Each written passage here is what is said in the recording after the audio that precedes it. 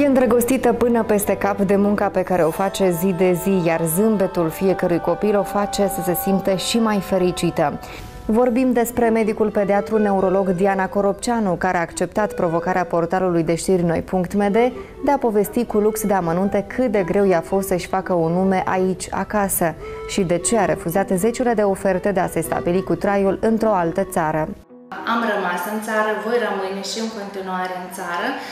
Este foarte necesar ca să putem să educăm o nouă generație.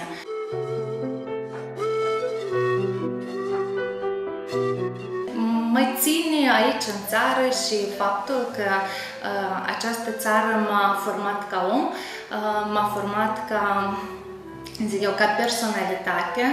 Uh, de aici, în această lume, am învățat aceste deprinderi de viață, am, um, zic, am învățat să respect, să prețuiesc, să iubesc, să dăruiesc.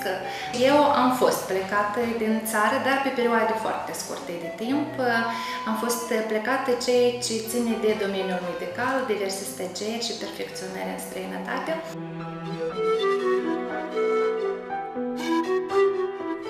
Fost foarte multe propuneri, ele și urmează și până în prezent ca să fie, dar uh, cum și-am zis, țin foarte mult la țara mea, uh, țin foarte mult um, la micii noștri pacienți și asta mă face ca să rămân aici, cu toate că avem uh, am foarte mulți pacienți care vin din străinătate Uh, pentru diverse uh, examinări. Uh, asta nu doar că consultațiile la noi sunt mult mai ieftine decât în celelalte state, dar pentru că ești un om profesionist, știi cum să-ți faci profesia, cum faci această dăruire de sine.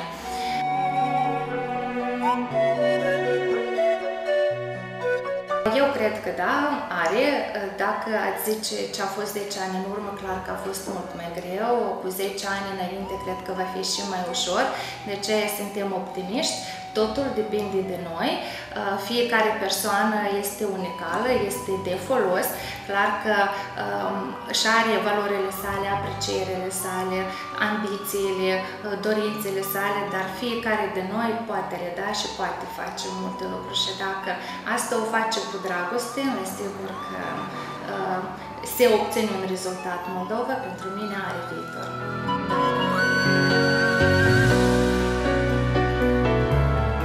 nu a fost ușor, clar că este multe de lucru și în continuare, încă nu m-am oprit aici, uh, vreau să fac încă foarte multe lucruri și uh, de ce nu să mă implic atât în domeniul uh, de sănătate și privat, cât și public.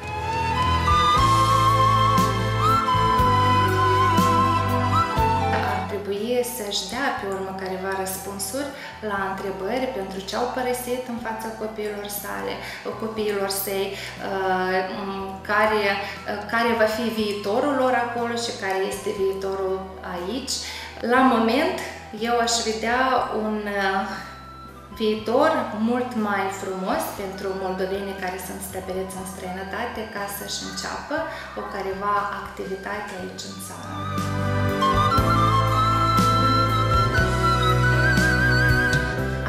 Mă gândesc la țara mea, mă gândesc uh, la părinții mei, uh, mă gândesc la cei oameni care au fost permanent alături de mine, uh, care m-au îndrumat, m-au inspirat, care um, au făcut ca să îndrăgesc eu Republica Moldova, ca respectiv să pot și eu să redau ce este Republica Moldova.